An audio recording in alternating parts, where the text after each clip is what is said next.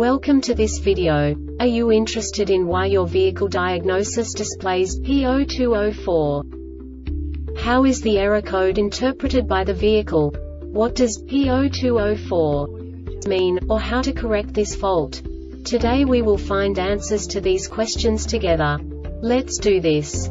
First, let's look at the history of diagnostic fault code composition according to the OBD2 protocol, which is unified for all automakers since 2000. We divide the electric system of automobile into the four basic units.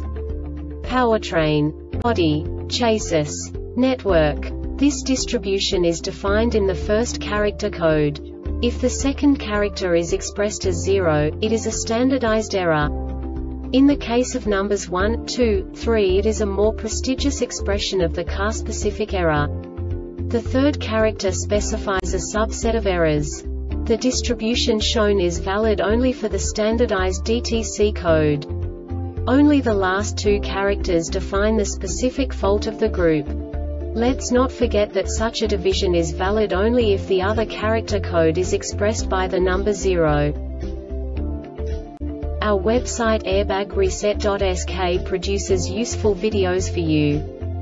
You do not have to go through the OBD2 protocol anymore to know how to troubleshoot any car breakdown. You will find all the diagnostic codes that can be diagnosed in a Kia vehicles. Also many other useful things.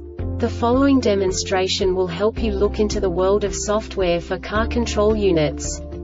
You unbelievably can move the video a bit further. The error code is split into two bytes consisting of 16 bits. One bit is the basic unit that each computer works with. The bit has two logical states. 0, low level, 1, high level. By combining the first two bits, the basic character of the error code is expressed. The next two bits again determine the second character. The last beat styles of the first byte define the third character of the code. The second byte is composed of a combination of 8 bits.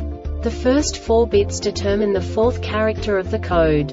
And the combination of the last 4 bits defines the fifth character.